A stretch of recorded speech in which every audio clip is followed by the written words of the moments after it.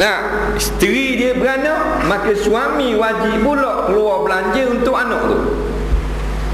Ada kalanya sebab miskin nafkah. Umpamanya mak ayah dia jatuh miskin, maka anak kita anak ni wajib keluar nafkah untuk makan minum tempat tinggal mak ayah dia.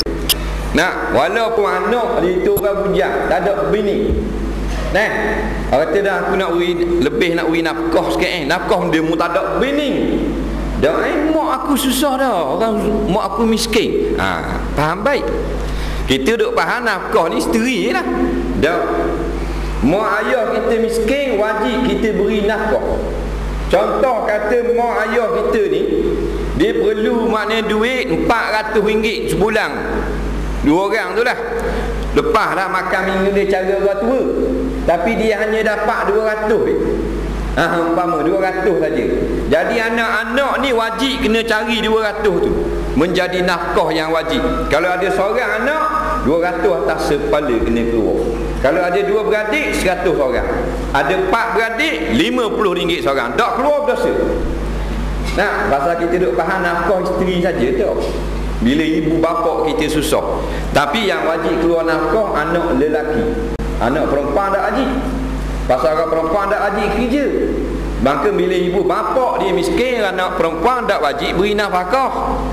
Ha, Tapi jangan pula bila kata anak perempuan tak wajib beri nafkah pada ibu bapa ha, Pakat tak mau beri lah Benda hak bergaluh dah. Tak ada. Ha. Neh, ni wak kedeku dah pula. Neh, walaupun setahak tu tak wajib Sunnah.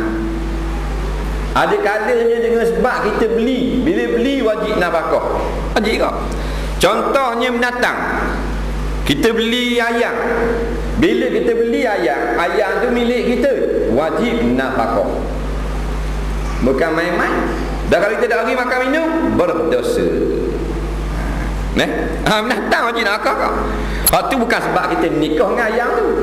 Kita beli ayam Maka ayam tu jadi milik kita Bila jadi milik kita Tiap-tiap binatang yang duduk di bawah milik kita Wajib atas kita nafkah Sama ada kita tuang binatang laki-laki atau perempuan. Ha, Bela kucing. Tengok comel lah bela kucing Dia bela tek oh, Bulu biru.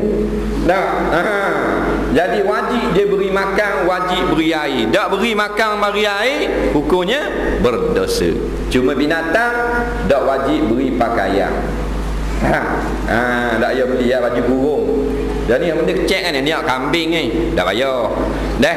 Ha, makan minum tempat tinggal.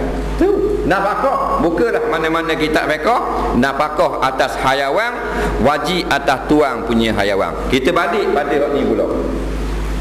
Suami bila berkahwin kepada dengan seorang perempuan namanya isteri lah. Nama isteri. Nah. Ha. Bila mana kau wajib nafkah Bila isteri itu telah mampu disentuh oleh suami Faham baik? Dengar model eh? Nah? Ha. Kalau dalam harian metro payah nak jumpa Nah? Ha. Dalam majalah tiga pun rasa tak kabar eh?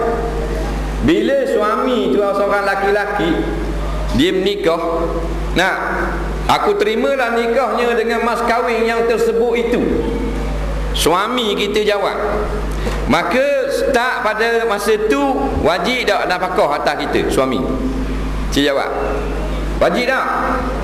Ha? Kalau kita tak bersuami Wajib atas ibu bapa nafkah Makan minum tempat tinggal pakaian Obat-obatan Faham? Tapi bila kita berkahwin dah Suami kita jawab dah nikah Kita dengar lah bilik ni Umpamanya tak? Tanya saksi mana? Sah. Sah dah. Sah dah. Ne? Ha. Maka nafkah wajib atas siapa pada masa itu? Siapa tahu? Ha? Suami lagi? Adiah jentu semua. Ne? Nafkah wajib atas ibu bapa lagi. Faham? Walaupun telah akad nikah.